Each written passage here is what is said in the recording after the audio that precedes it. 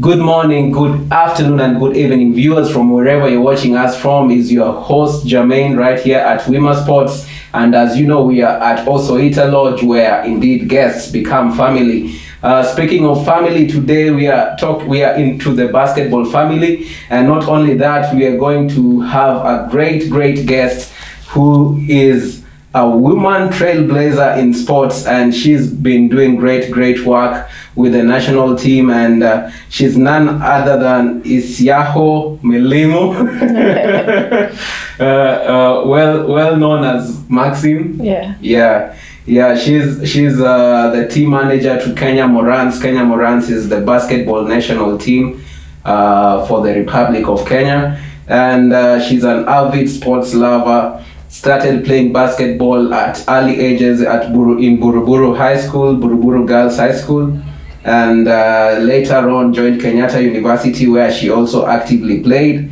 And she got into management of the national team first in 2014 as a member of the de facto we Kiingereza hapa kidogo National Team Management Board and uh, she got co-opted to the federation in 2016 uh, she has managed the Kenya Moran since 2018 to date. And I think if you're in the basketball world, uh, it speaks speaks for itself the work she's been able to do uh, with the with the with the entire team and entire management and operations uh, group that deals with that. So she also sits in the executive of the federation. This is Kenya Basketball Federation as a woman representative and supports all national team programs for both the men and women basketball. Karibu sana. Thank you. Thank you, thank you. So uh, just to kick us off, uh, last time we did a little uh, introduction on what sports, uh, what sports development is, and uh, I'll just talk about something little on that today as well. Each sports has a development program that is governed by development bodies, and these bodies are based on sports uh, development pyramid, uh, which you can recap from the last video that we did. And uh, these bodies are such as the IAAF for the athletics, there's FIFA for basketball, for football, and uh, FIBA for basketball, etc., etc. And the major roles of these bodies is usually to promote awareness and also to create values of the sport and also to support progression of athletes uh, from the different pyramids of, uh, of, of, of, of sports development, different uh, sections of the pyramid of the sports development. And uh, having said that, uh, just to kick us off and break the ice, uh, Maxine, tell us about your first six years of life growing up in regards to sports or anything that you'd like to talk about. The first six years of my life. Yeah. Um, Uh, yeah, the first six years of my life were not very eventful. Um, I'm the firstborn of three. Um, I'm, the, I'm the only girl. So it's basically just life, normal life, no sports, no nothing. It was just normal child life. I didn't know I had any talent with regards to sports Yeah. at that time. yeah. Uh, so it was just a normal childhood like anyone else who grew up in Nairobi. I was born and raised in Nairobi. I've gone to school in Nairobi. Basically, I've, I haven't left Nairobi until I left for work. So, yeah, that's basically how my life was. So uh, none of your brothers did sports, or Um, we are all into sports. I Wow. played basketball. I inspired my kid brother, my uh, last born brother, to also play basketball. Um, my follower played rugby. Uh, he played in high school. He played a bit of professional. Then he he retired early, so to speak. Yeah. So yeah, we are all sports sports lovers. We all like sports. We all argue about basketball. they all push me to be the person that I have been become Awesome. today. Yeah. Awesome. Awesome. Indeed, that's a great environment that has uh, uh, helped you come this far. And uh, what to what levels did you play basketball in Buruburu? Provincials, nationals, East Um, Africa? Mm. As we as you know, bas- Buruburu Girls is a basketball powerhouse Yeah. in Kenya. in, in uh, we all know Buruburu Girls and basketball are synonymous. So yeah, we during my time we played up to the provincial level, provincial levels. Mhm. Uh, on my final year, we lost to St George's. That was the worst game ever. but yeah, we we were we were very active in terms of basketball. So we played to the highest level in the province. After I left, uh, the the ones behind me went to nationals all through, and they still go because Buruburu and is very keen on supporting basketball. I think it's one it's one of the very few girls schools that have two basketball courts Wow. uh, within the within Wow. the school. Yeah. Uh, now that you've come this far, do you get to visit them at times? Yes, yes. I the coach that coached me is still there. Wow. He also he also taught, taught me biology. Mhm. Uh, so he's still there as a teacher. He still coaches. So once in a while, before COVID, I remember I went there to mentor the girls a bit. Mhm. So I still do that uh, uh, once in a while when I get some time. Thank you, thank you. Viewers always be keen to go back to uh, where molded you to become who you are. It's always a great way to give back and a great way to support our learning institutions. I mean, we, if we've not learned the best way possible during the pandemic, uh, learning institutions have been going through tough times. And the only way we can support is by the alma mater, the alumni, uh, going back to your institutions and supporting, do what, doing what you can do. Uh, it doesn't have to be monetary, but anything that you can do, any service that you can have, you can change just one person's life just by talking to them. Uh, thank you, thank you, Maxine, for doing that, and I encourage you to keep on doing it. Yeah. And uh, how was college basketball at Kenyatta? Mm, it it was okay. I think the most competitive level was the Unikusa University Games, Mhm. and we we were sworn enemies with Strathmore Swans at that particular time. But it was all, all just for the growth of sports. It was fun. It was an activity that occupied our weekends Yeah. so that you don't get into funny activities and yeah, going to law school law school is a bit of stress so i think that uh, took away some of the pressure that came with with going through law school, school, in yeah. kenyatta university yeah so basketball in kenyatta university was good the team uh, joined um, nairobi basketball Le- uh, nba association Yes, yes. in 2012 first season went unbeaten Mm, was I was part of the team that uh, helped the team to get into the Premier League where they still are Awesome. now. Yeah. Uh, so it was a good a good uh, platform. Shout out to Coach John Waringo. He's still the coach there. So it was a good platform for for for us as as ladies and as basketballers. Awesome. Yeah. If if you could speak to uh, a player in the college uh, or KU or whichever who is facing uh, difficulties with balancing the 2 uh, how how was it for you balancing the two? And uh, um, for you, uh, from what you said, I feel basketball helped you uh, remain sane after Yeah. law school. Yeah. yeah. But uh, if there's a player who's really struggling with their grades, and uh, if you have a word for such players, and uh, who can, how can they be able to balance their academics and basketball? Yeah, I believe uh, in university we all we have been there. We all know that there's a lot of time in our hands. Yeah. So you just use that time wisely. So uh, have your bit of fun, have your bit of play, and have your your study time. Just uh, prioritize the things that are, are important to you. If it's basketball that is important to you, prioritize it and be the best at it. If it's the, the books, then prioritize that and be the best at it. But it's all about prioritize, prioritizing what is important to you at each particular time and managing your time well. Because in in campus we have a lot of a lot of time because you don't have classes eight to seven every day. Some days uh, you have free days, some days you have half days. So it's just a matter of balancing between all that and prioritizing what is important to you. Okay. Yeah. I, I'd like to take you back just a little bit. uh, there's this game that you spoke about in high school that was really tough, and uh, it, it hit you guys hard on the uh, going through or uh, experiencing the loss. Um, what life lesson did you get from it that has impacted your life to date?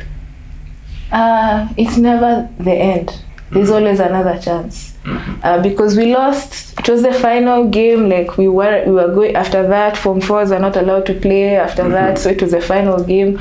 We cried in the bus. We cried on top of the bus. but that does, didn't mean that it was the end. Yeah. Like we got another opportunity to play more competitive basketball in campus, in the league. So it's never the end. Like there's always another chance. So don't don't put yourself down because of one loss. Yeah. Uh, losses and wins part of the part of life.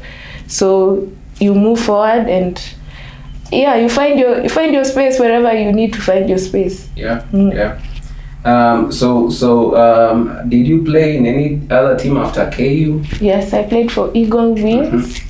Um, I, I played for Eagle Wings for 2015 till 2018. How?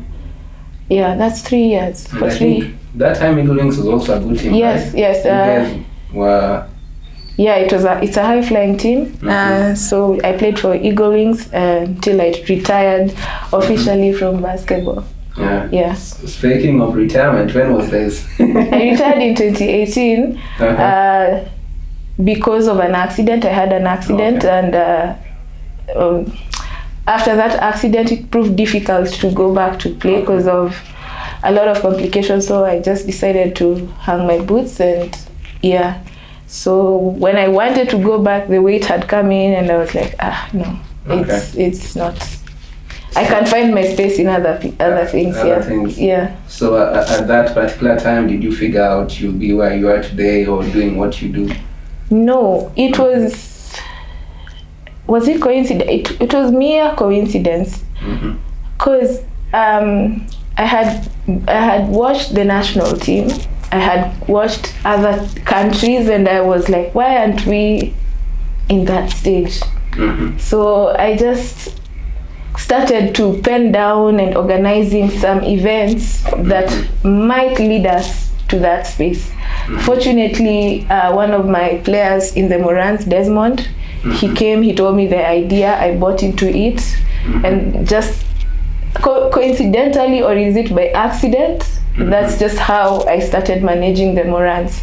We went to the federation, we told them that this is the plan. We, we drew up a plan from 2018 to 2020, 2023. Mhm. We told them that this is the five year plan that we have.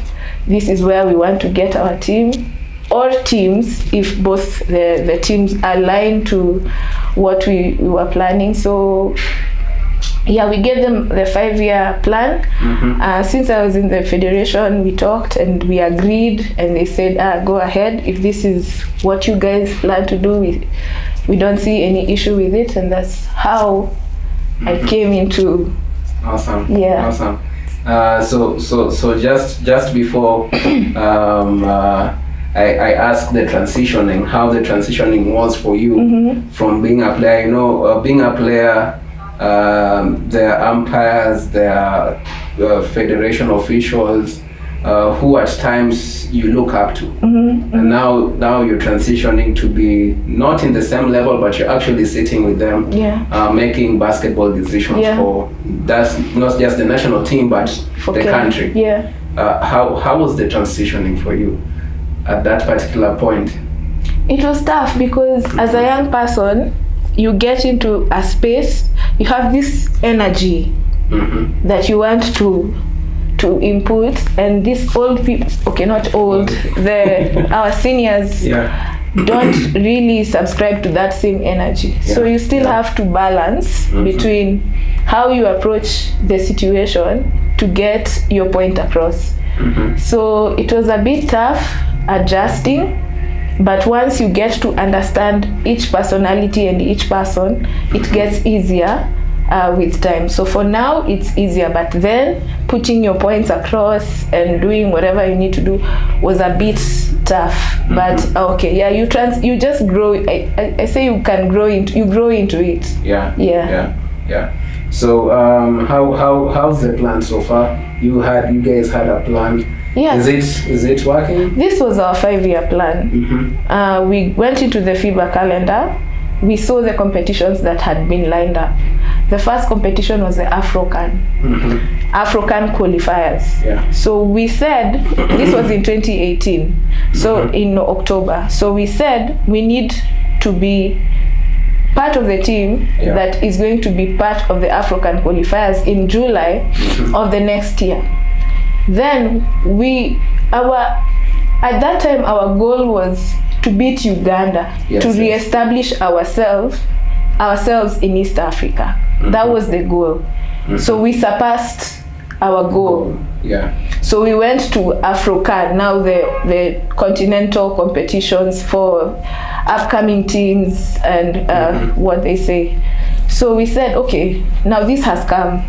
It's, it was part of the plan, this has come. So the plan was Afrocan qualifiers, Afrocan, and then Afro basket pre qualifiers, mm-hmm. Afro basket qualifiers, Afro basket, then World Cup qualifiers, World Cup. World Cup. So that that that plan mm-hmm. in every calendar in every country takes a, a span of of four years. Mm-hmm. So we started in 2018, projecting that in 2019 in July, June July during the summer, this is what is going to be taking place, Yeah. and this is the position we want to be in at that particular time. So everything we were working on or towards was towards that Yeah. that plan. Yeah. Yeah. Um, how how was it uh, selling this vision that you guys had to the entire team and uh, the the, the man, team management uh, for everyone to Understand. understand and just pursue the goal? for for the team what we did is we uh, desmond and, and i we had we had been having conversations with uh, our players who are abroad we say that we want to bring kenya back on the map re-establish Yeah. ourselves yeah. in east africa Mm -hmm. so it was easier to to sell that dream to both the players and to the management because yeah. we were like we are lagging behind Yeah. we need to establish ourselves in east africa at the very least Yeah. in zone 5 Yeah. so when we told them that this is what we want to do i think if you if you have something positive to do only a fool would refuse. Refuse, yeah. yeah so it was positive. Mhm. it was a welcomed idea. And uh, sh- shout out to desmond because he used his own resources to rebuild this team. Desmond is uh, our team captain right now. Mhm. he is based in australia. So he did the groundwork. Yeah. uh, me i just helped him managing since he's not based yeah, here yeah. the system so he did the groundwork. So you see if i come to you i say i just want to use this place. Uh, i won't ask you for money. I won't do anything. I won't i won't do anything that is contrary to your What goal. you stand, yeah. yeah so it's easier to convince people to work that way. Yeah. so we drew a plan. This is how it's we drew the plan we had the plan we presented the plan and we had a common goal i can mm-hmm. say both the federation and, and the players they had a common, Common goal, goal, yeah. yeah. which is to make kenya visible again basketball wise Yeah. in zone 5 at Yeah. that point Yeah. Yeah and I salute you, Desmond, too. I salute you uh, together with the entire team that made this happen. I, uh, I mean, uh, you know, we're in a country where people don't give to Caesar what Yeah. what Caesar deserves, and and definitely you guys deserve uh, lots of salutation, and uh, uh, I hope one day you get to to have the president's uh, audience. Uh, for, for, for salutations from his office. actually they have Awesome, Yeah. awesome, awesome. Thank you. So, uh, national team, there's someone looking up to you, um, a girl, a guy. Wh- What, what, what does national team management look like um, for someone who would like to aspire to be in that position? first of all it requires passion Mhm. uh, I can say if you want to if your if your goal is to get into this for money, then choose a choose another choose another yeah. career path because Yeah. yeah. uh, money money is not it's not the key thing because it requires a lot of passion it requires you to be uh, very open to new ideas it requires mm -hmm. you to have a tough skin Because you you will get a lot of hate. Mhm. and that is that is just how Kenya works. Yeah. you'll get a lot of hate but you'll get a lot of love from other other spheres africa and all that. Yeah. so it requires a lot of passion. It requires a lot of dedication. It requires a lot of prioritizing your time. Yeah. yeah. Because it's it's not a, a day job. It's not an everyday job. Yes. it's it's a job that comes with assignments Mhm. so you don't wake up every day and say, "Oh, for basketball at least we are not there there yet." For rugby, it's different. For athletics, it's, it's different. Mhm. For them, that's a full time job. For us, it's not, Yeah. and we are not there yet. We hope to get there someday, Yeah. but not yet. So you require to prioritize your time and know what what uh, you, you you you set up an, an a goal Mhm. and just know that two weeks training is not enough to go to any competition you will not you will not have the Mm. the, the confidence of of oh now we are we are a good team Yeah. because yeah. when you leave this country everyone is there to win no one is out there to lose Yeah. and and other countries have been doing it for a long time Mm -hmm. for us going into uganda was easy Mm -hmm. uh, we were, we were, we were, we were all, all over the place. Mm -hmm. Going into Mali, it was Uh-huh. was tough because now you meet other African uh, players who have been doing it mm -hmm. the whole time. They Yeah. already have a culture. You're trying to establish yours. A, A culture. Yeah. So it's it's tough for now for so for the person who will come after me it's a bit easy because we already have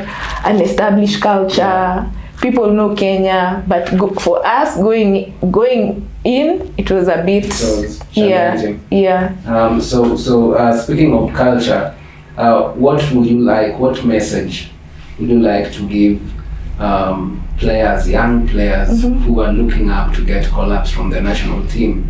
Uh, what what should they do? Uh, what, what what are some of the things that you look at or your your team looks at uh-huh uh, when recruiting such players in terms of work, in terms of training, in terms of fundamental, being fundamentally sound and, and all this. Yeah, if you just have a word for them. for me in management i do not look at the technical aspect so if you see me in a game Mhm. don't try to outshine yourself beat people up because tm is here. No. Yeah. for me i look at the personality. Your personality does it fit into the morans culture?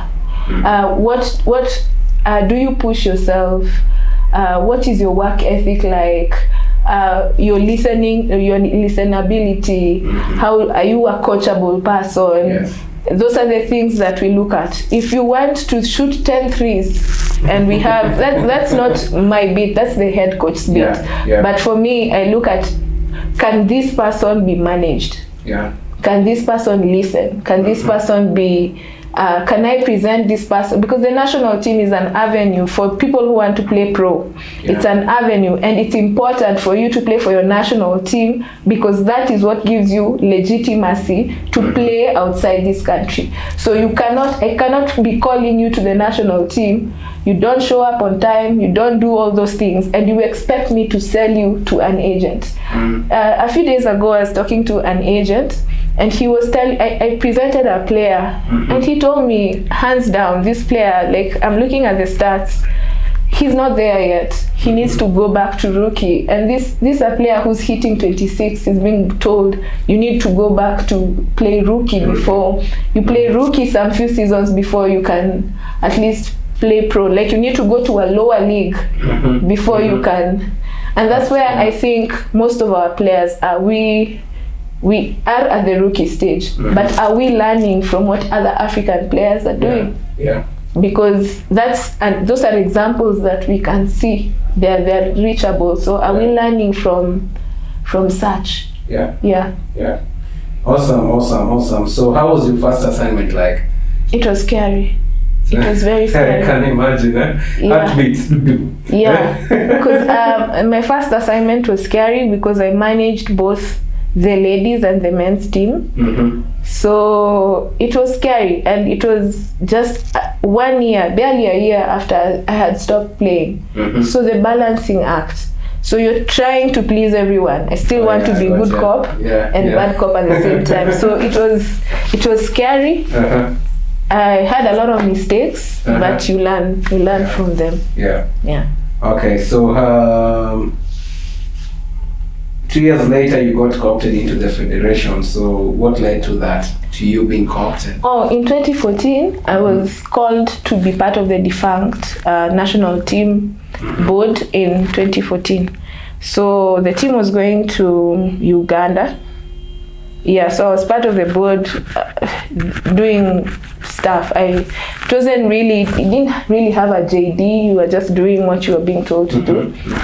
Uh, I think with that work and the dedication, the federation thought it would be best to Yeah. co-opt me into the executive Gotcha. because you vote for nine people Mhm. and then they are co-opt. Is it three? Yeah, they co-opt three. Okay. So I was part of the people. I think also recommendations from coaches and Mhm. people, just people, because yeah, it was just a recommendation. So I was co-opted into the con- federation in 2016. After the 2016 elections, uh, Mr. Otula called me, told me that would like you to be part of the executive, which I accepted, and I have been there since 2016. Mhm. Even the last the last election, I was now uh, I didn't vie for any seat, but I was uh, I was uh, is it nominated Nominated. to yeah. be uh, a woman representative in the federation because the Mhm. constitution says that there has to be two. Yeah. So there's two of us for gender parity Yeah. and and whatnot. Yeah. Yeah. So, so there's always one thing um, um, we don't get to understand a lot, hmm and uh, this is, you know, opportunities come, Yeah.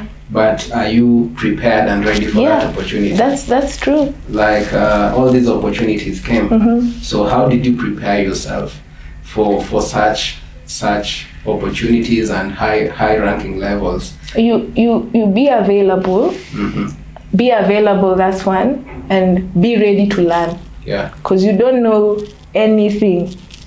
You know how to play basketball, but you do not know how to run basketball. Those are two different, things. yeah. So be available to learn. That's just what I can say. Be available and be available to learn. Yeah. Okay. Thank you. Thank you for that. How's the last assignment for you? Surprisingly, uh-huh. that last assignment Uh-huh. was one of the most stress-free assignments that uh, I have ever had. I don't know if it's growth, Mm-hmm. but the, the players were cooperative. Mm-hmm. uh, a few hitches in funding and government and that that's Yeah, that's normal yeah, this is yeah. kenya election year we understand Yeah. Um, but they still came through we really thank the government they always come through Mhm. since 2018 we've we've let me just say basketball since 2018 basketball we've never experienced those stories of kulala kwa airport Mhm. and not being kitted Mhm. allowances since 2018 technically we haven't Yeah. been in that space Yeah. uh, and that's a good thing. Um, so the last assignment was okay. The game just didn't work. Yeah. The game didn't work in February. The thing about February assignments and what people don't understand is that all our international players who play pro only get 10 days Well, off. from their yeah usual from, assignment. from their usual assignments Yeah. so you only get 10 days off so it's even difficult to bring the team here For to train Yeah. And it's also expensive. Yeah. So imagine someone coming out of Australia, you're bringing them to Nairobi, then you take them to Senegal, you bring them to Nairobi, then you take Wow. them back to Australia. You Mhm. see how hectic that and how many days that takes? Yeah. It already takes More than. yeah. So the assignment days are three, Mm-hmm. but you only have ten days. That includes travel, training, whatever, whatever. So it was difficult Yeah. for us to get all our players in the, in time for for that assignment. Yeah. In February last year, because of the of the pandemic and all that, most leagues were not very active. So it was mm-hmm. easier to bring in team players uh, mm-hmm. from wherever train, and those who couldn't come, we met there. Mm-hmm. But this time, all leagues are active. Yeah. So it's a bit difficult to to to have that. So for other Yeah. teams, uh, uh, flight from most teams, uh, the teams we play with, Senegal, most of their players play in France. Yeah. France is a is it six hours flight to Yeah. to Dakar. Yeah. Us guys, we travel 14 hours from Nairobi to Dakar. Mm-hmm. So you can just imagine. So it was it was a difficult assignment. It was a difficult position, but the team did the best that they could have done at that particular point. Yeah. Yeah, Yeah. Za- E- Egypt, that national team is basically Zamalek. They all play locally, so it's easy for you to do whatever you need to do very fast. because they're available. They're available, Yeah. yeah. So the assignment, the game, yes, we had we had hard games. It was tough, Mm-hmm. but in terms of players being doing what they were supposed to do, the players did what they were supposed to do. Yeah, and I appreciate each one of them because it was it was easy, Mm-hmm. contrary to what people think. It was a bit easy. Yeah. Okay. Mm. How any preparation so far for the, the coming second leg? Yeah, we are. And we are wh- when is it? the second leg starts in uh, July. Mm-hmm. We play on July 1st, 2nd, and 3rd. But you have to leave the country at least uh, five days before mm -hmm. so that we acclimatize because it's Egypt. Mm-hmm. We, our, you see, you, we, we, when we train, we, our altitude is a bit higher than in Cairo. So if we train here in Nairobi, then you go to Egypt, two days acclimatization because hey, it's it's it's interesting. So those are the things that even coaches need to look at. Okay, how, uh, where are we playing? How is Yeah. the weather? Yeah. Those things. So us guys usually we go to Ngong Hills to run. I think you've seen videos Yeah, of. Morans uh, preparing at Ngong Ngong Hills. Oh, Yeah. we are starting preparation as of next week. Uh, Mm-hmm. Next by next week, first week of uh, first weekend of May.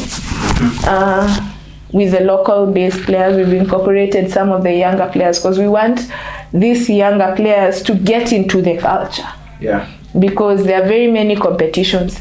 I will not shock you Mm-hmm. giving you your first assignment and take you to World Cup qualifiers. Mhm. That stage is too big. Yeah. But there's Afrocan, Mhm. the cycle starts again. There's Afrocan, there's Afro basket pre qualifiers and all that. So the cycle starts again. So you need to be ready mentally Yeah. for those.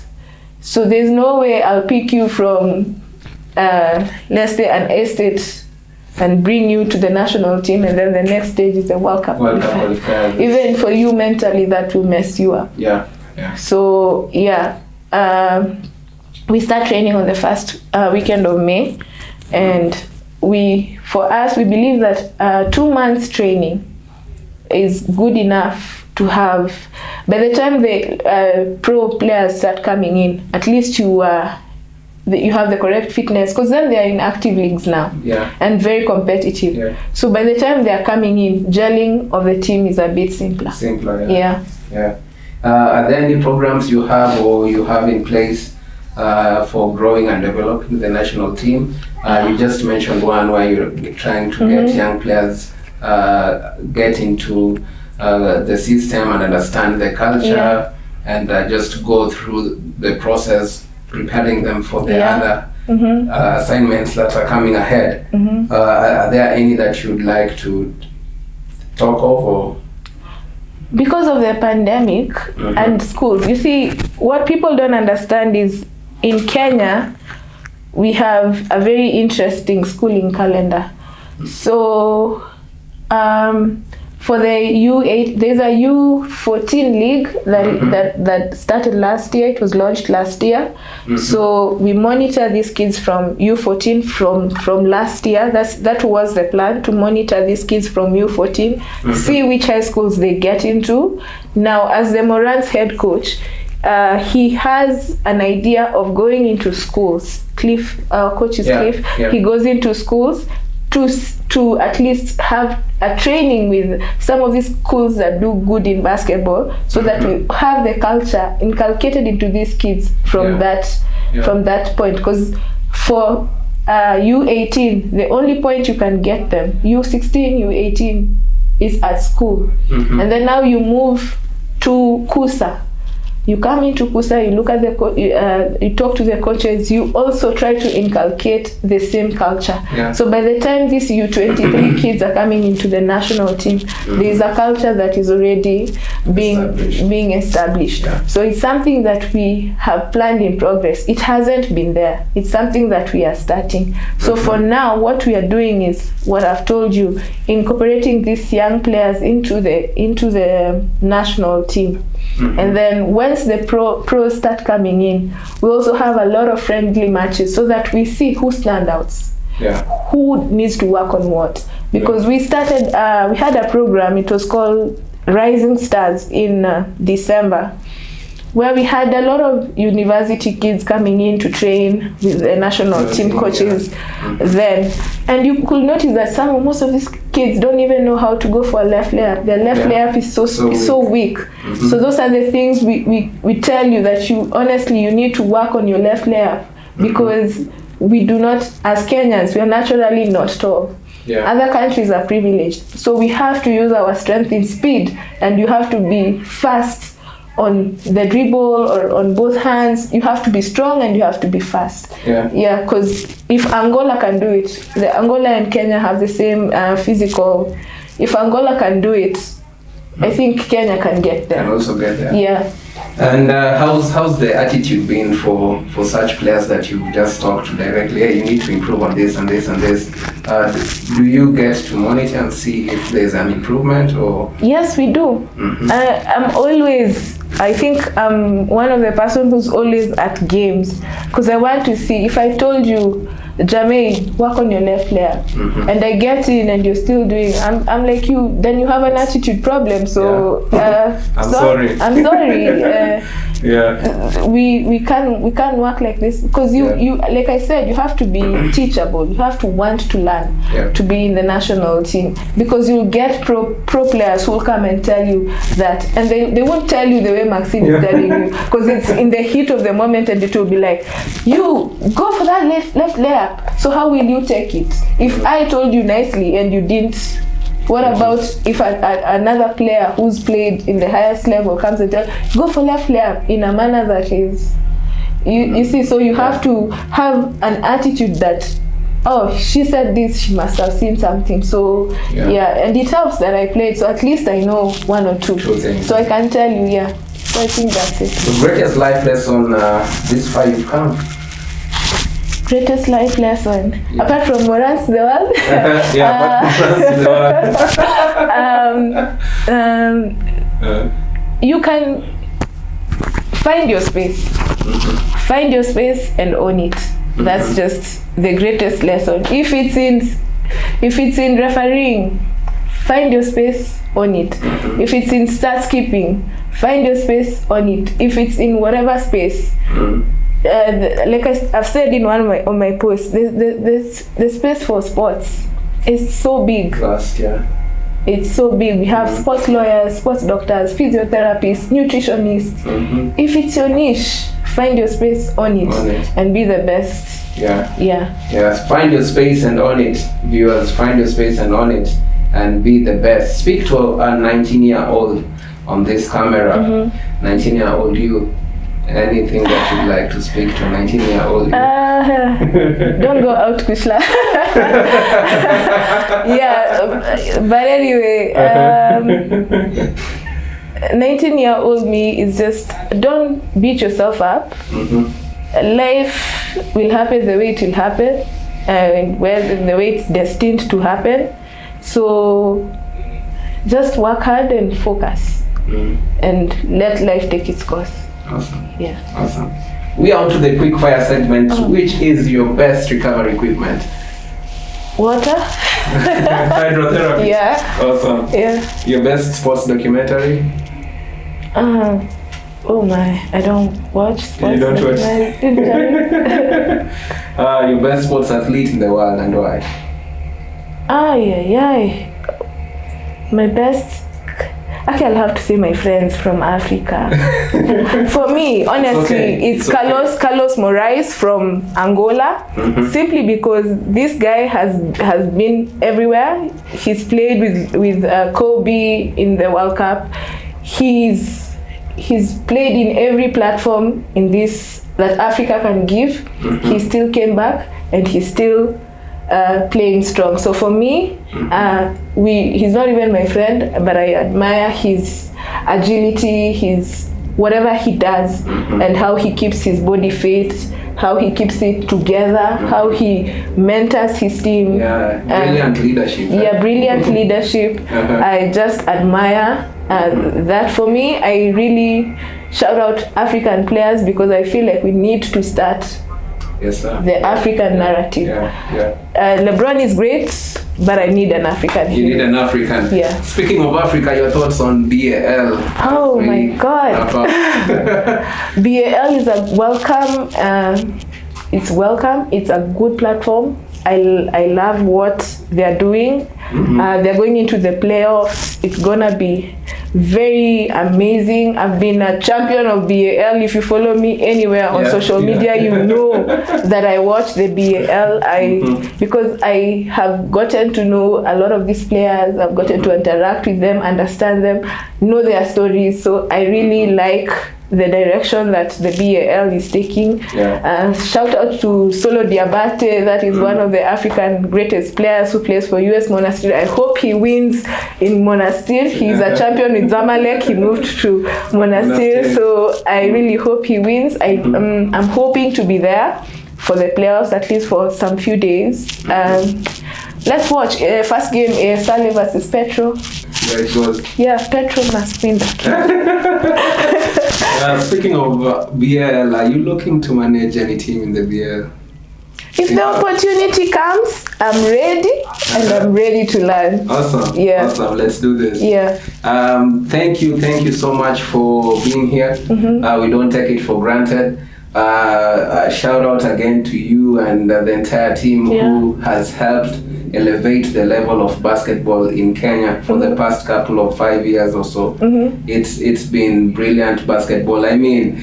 Uh, plays like Taylor's play, the clutch plays, Oh, and, and all Yeah. those things. Those are things that we've only seen Yeah. in, in the US or other foreign leagues, but our very own Yeah. can do it. And this is just to inspire young people who are coming up. Uh, just just go out there, uh, look for that space, as she mm-hmm. said it, and mm-hmm. own it. If, mm-hmm. if, if your space is a sh- is a shooter, if your space is a point guard, if your space is a forward, you just go there and own it and, and, and give us your best.